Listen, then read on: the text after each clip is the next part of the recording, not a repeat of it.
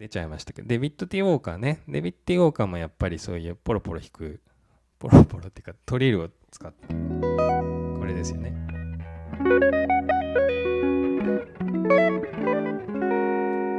これ系の。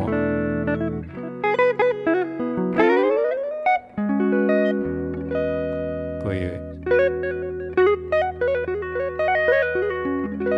演奏をトレードマークにしていたんだけど。えっ、となんでデビッド・ティは結構カーティスっていうとねあんまりすごいなんていうのかなこ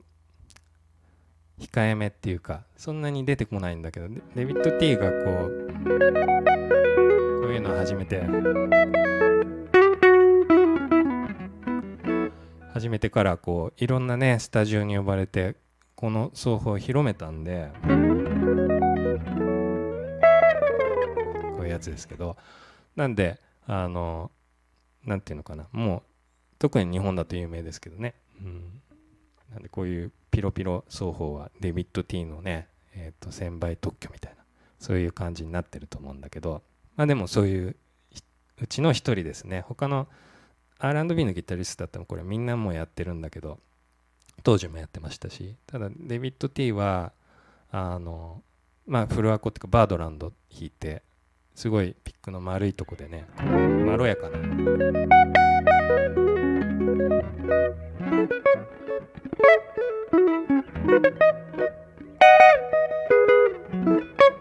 こういう感じのね演奏してたのであの特にさっきから言ってるようなあのセクシーな感じがねすると思います。はい、なんで、えー、とデビッド・ティ・ウォーカーちょっと外せないですね。うん、デビッド・ティは、えー、と前回前々回か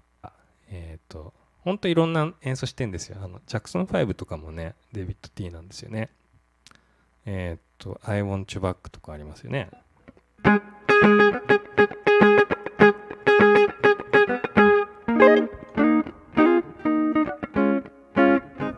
んなやつとかね。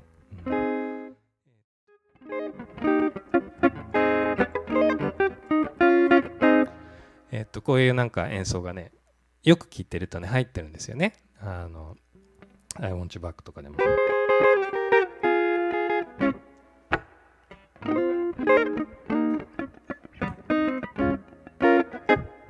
ういう感じで入ってるんでもうちゃんと聞いてみるとな絶対デビッド・ティーだなってわかると思うんですけどね。